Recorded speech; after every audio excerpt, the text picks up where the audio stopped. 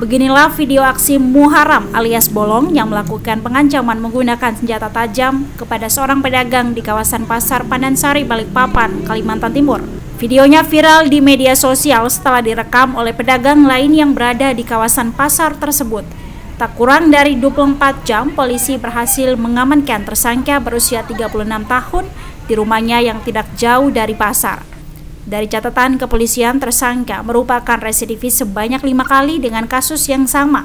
Tersangka diketahui mengamuk setelah tidak berhasil menagih uang yuran sewa lapak liar yang dikuasainya di Pasar Pandansari.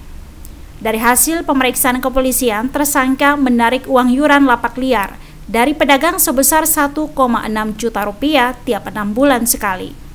Dari tersangka, polisi juga mengamankan barang bukti senjata tajam jenis celurit yang digunakan untuk mengancam pedagang. Kemudian eh, ada satu orang ini yang bisa kita lakukan penahanan karena dia meresahkan eh, warga Padansari, di mana dia sempat mengancam dengan menggunakan ini ya, dengan menggunakan sebilah peluru ini dan rekam di media sosial. Eh, viral sekali di media sosial. Oh, ya. Ya, dia residivis ya, sudah empat kali, lima kali ini melakukan. Jadi melakukan pembunuhan sekali, eh, penganiayaan, terus senjata tajam.